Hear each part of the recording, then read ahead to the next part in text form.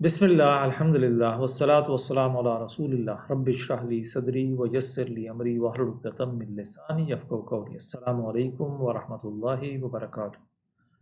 Today we'll talk about images. And in images, we'll see how many types of images file we have. Uh, we'll try to insert image into our web page.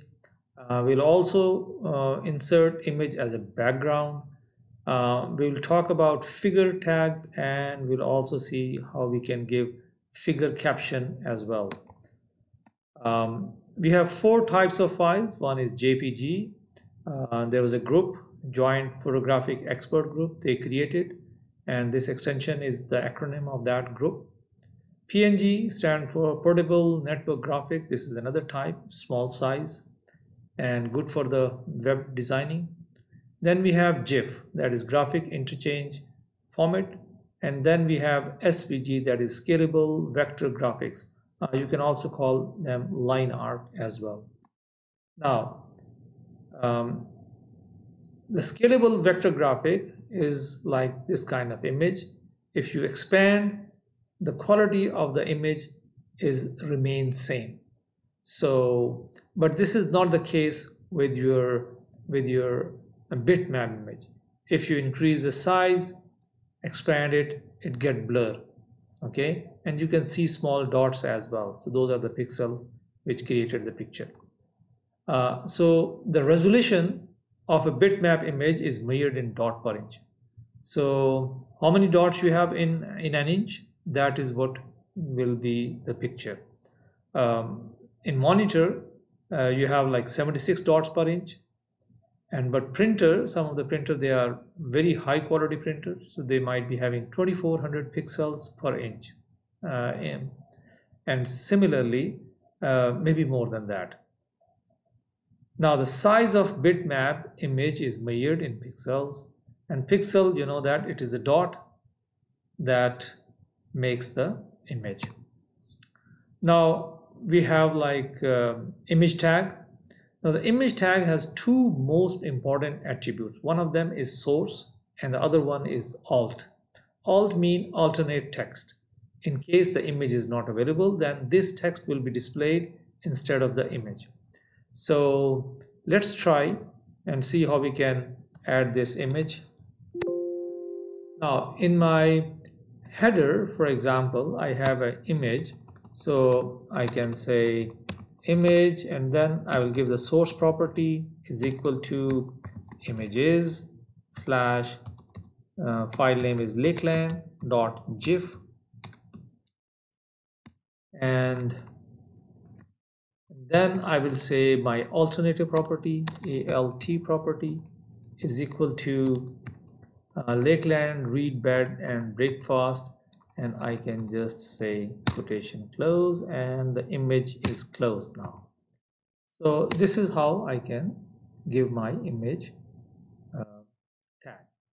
Now if you see I do have the Lakeland Reed the same heading which I, I was showing before but now when I will refresh it will it will be disappeared and only the image will be displayed and you see that here but in case in case I was typing and I incorrectly type the file name or the file name is not available what will happen?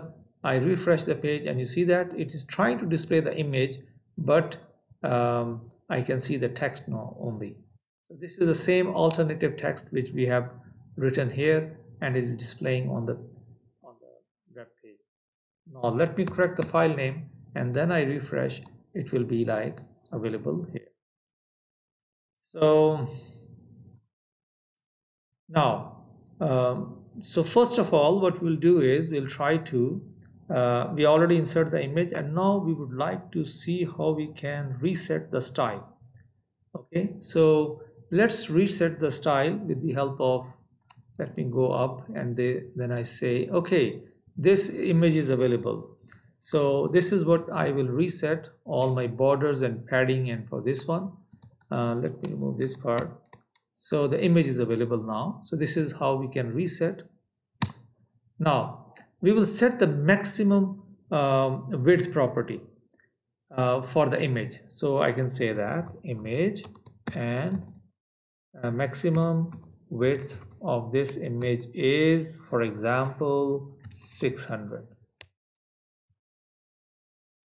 um, or maybe 7 okay 600 now if I refresh the page you may not see any change. You see that? Because this is almost the 600 pixels. But if I say if I say 100 pixel is the maximum width of this one so see what happens to this image? Um,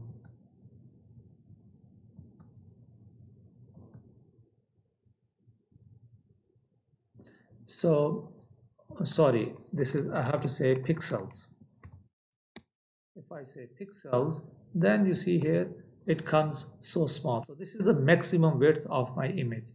Now if I say 600 or 700 let's for example I say refresh so it becomes this size. So this is how I specify the maximum width of my of my image on my web page.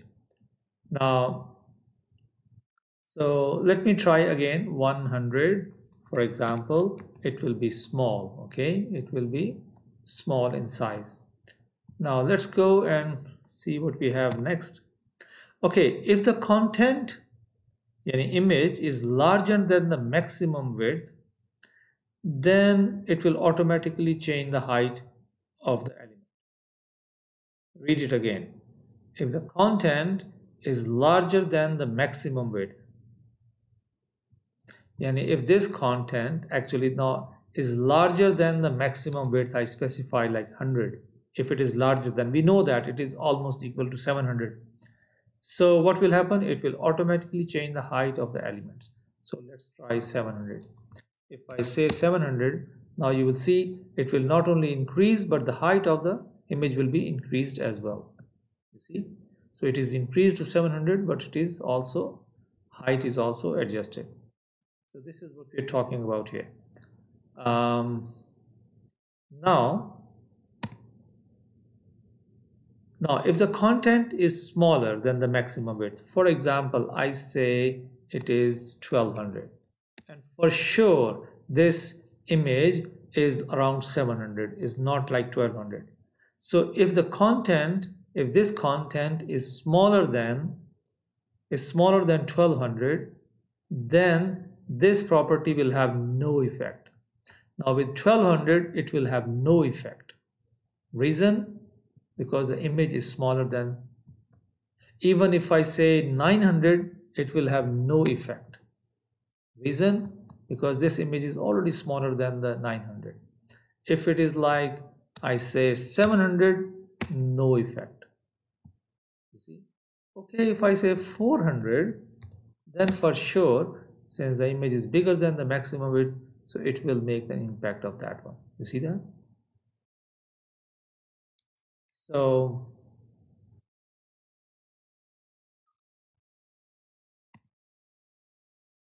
okay let's try let's try the height. If I say image height is auto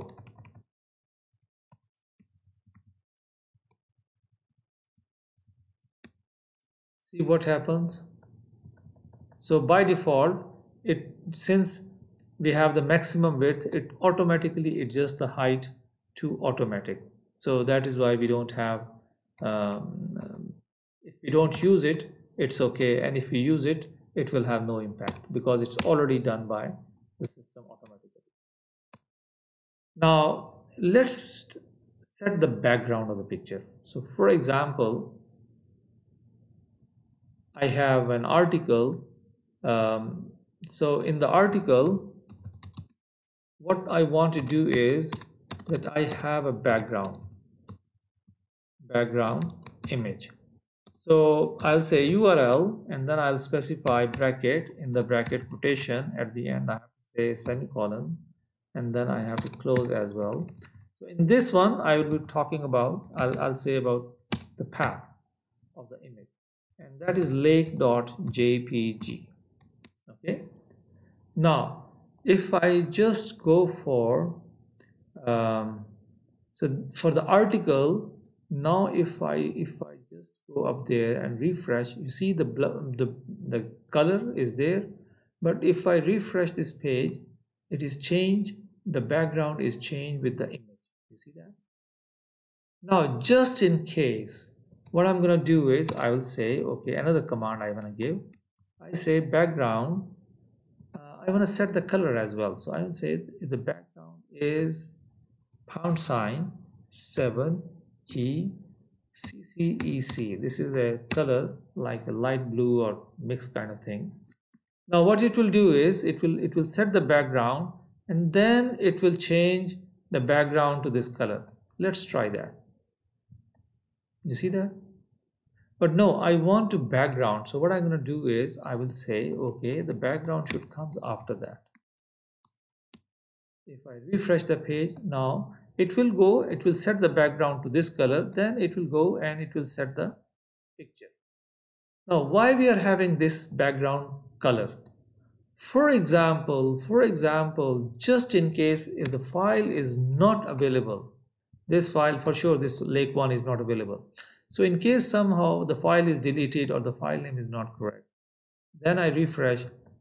So at least I will have this background color if this image is not available. So this background color is for a backup purposes. Okay? Uh, so I can change back. So it will come back to the lake.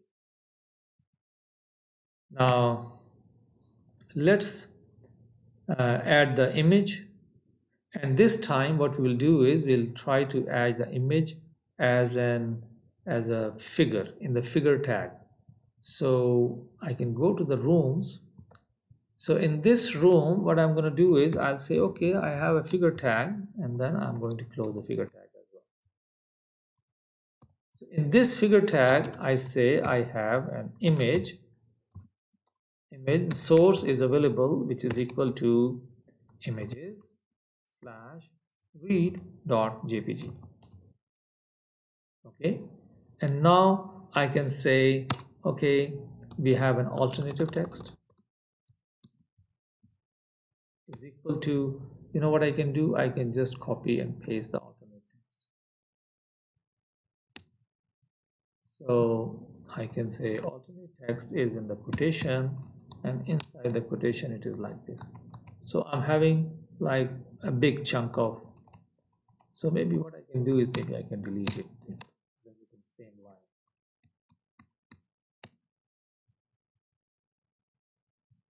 Okay and this one also I'll try to bring it in the same line. Now so this is my alt and, and that's it. So I can close my image. I can close my image here. And let me see this. So let me refresh here. And this is the room so I can go and I can see the images there. You see that? If this figure is not there let me show you this picture again without it. Refresh. So this picture is like this. Reed room and sun room. So i want the under the heading i want the image. And then under the image i want this text. So what i'll do is under the heading i'll i'll, I'll go for the copy paste of this image okay?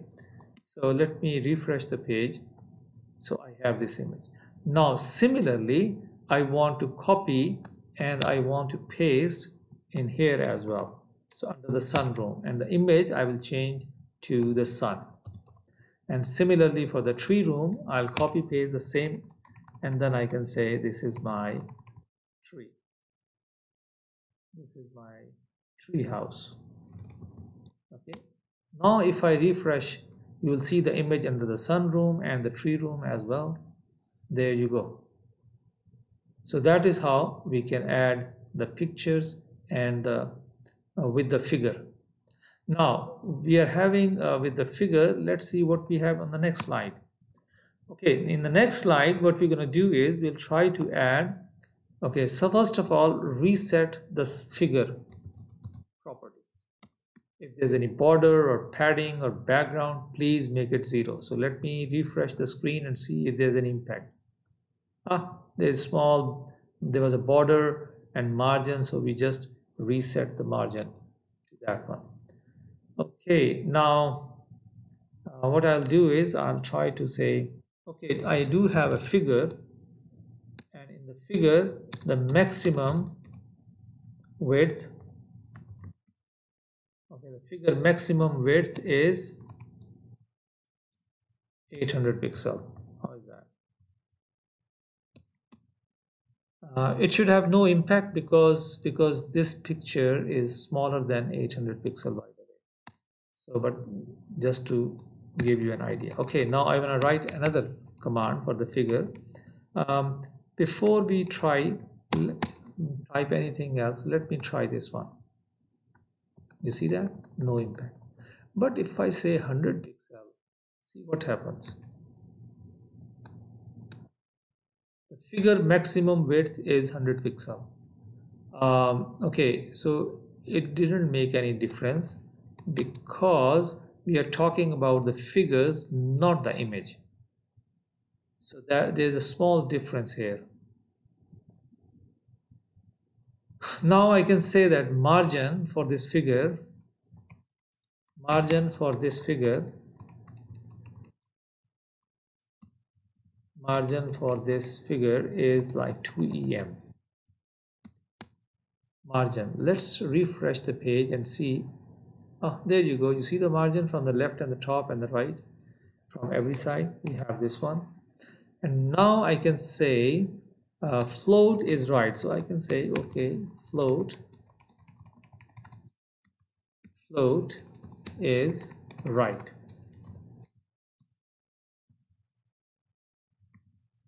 Now if you refresh this page you will see that float is right so it goes on the right side and the text comes on the left side you see that?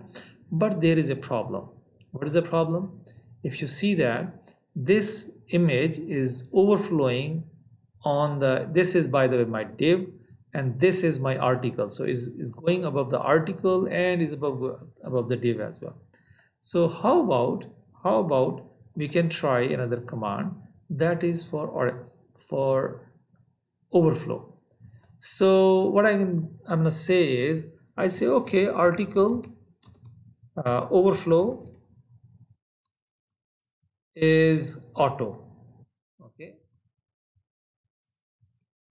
save it. Now if I just go up there overflow auto for the article. Refresh. Ah you see that? Now for this article the overflow is correct. But still my problem is not solved. My problem is up to this part. And let's go and see.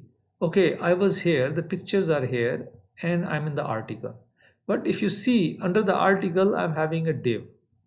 So this this area is a div and the article is everything. So what should we do? I think if I say article has a div and this div please overflow for this div, not for the article but for the div. Overflow is auto. Now what will happen? So it, will extend the div and it will bring this thing inside. You see that? So that is how we change the overflow um, for the div. Okay. Now we do have a, a caption for the. So let's try figure and caption on my on my index file. So on the index file, this is my header and this is my article. In the article, I have a div. Okay. Now in this under this div, what I'm gonna say is I'll say okay, I need I have a figure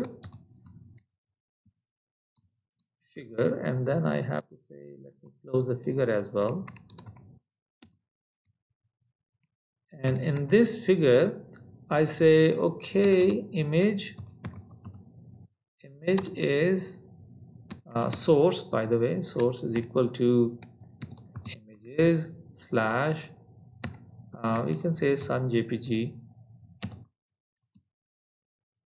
and close this one.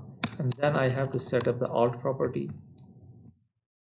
Alt property is equal to uh, I'm gonna say um, okay, with hardwood floor.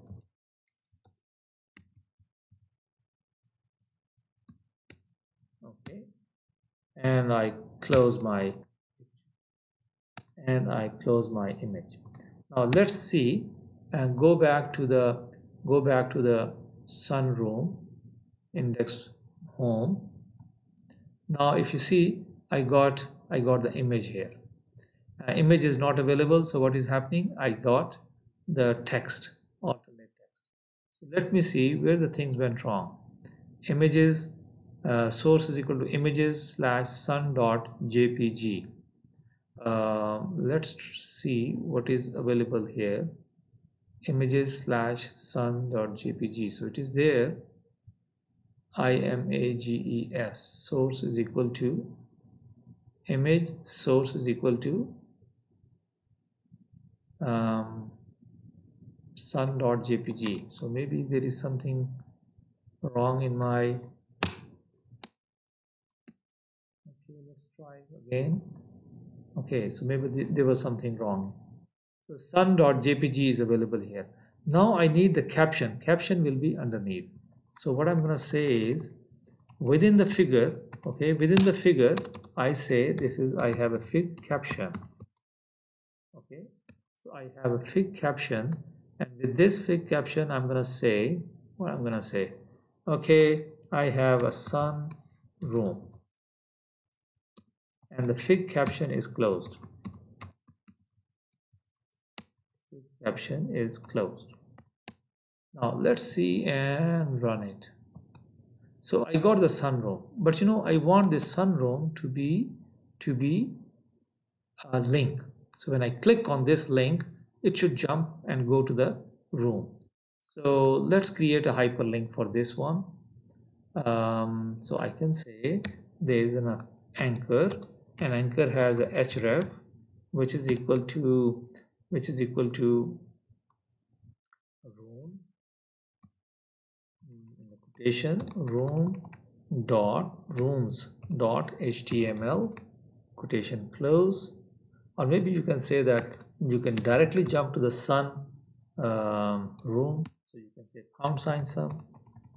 And that's it. And I can close my anchor after the text.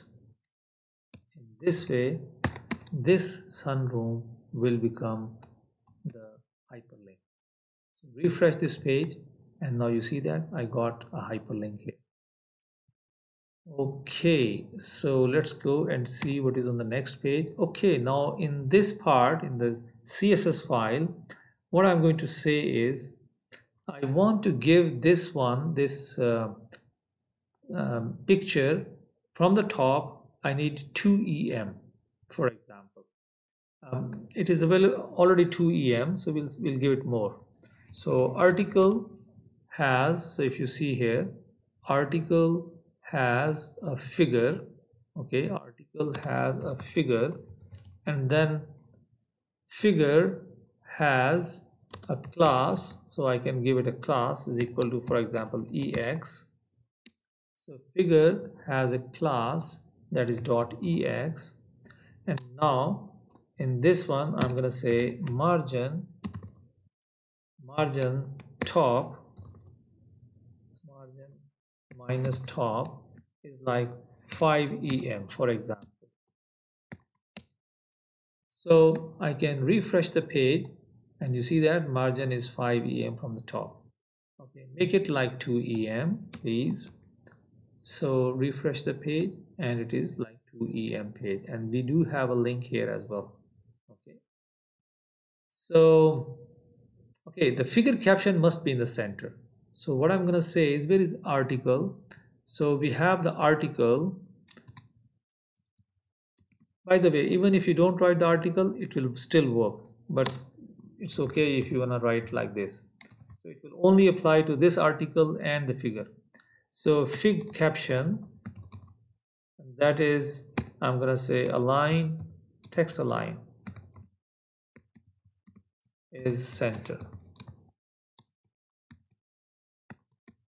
Now refresh the page and the text align is now you see here it is center. Um, that's it for today Kafara Majlis Allah wa bihamdihi subhanakallahumma wa bihamdika nashhadu an la ilaha illa anta nastaghfiruka wa natubu ilayk assalamu alaikum wa rahmatullahi wa barakatuhu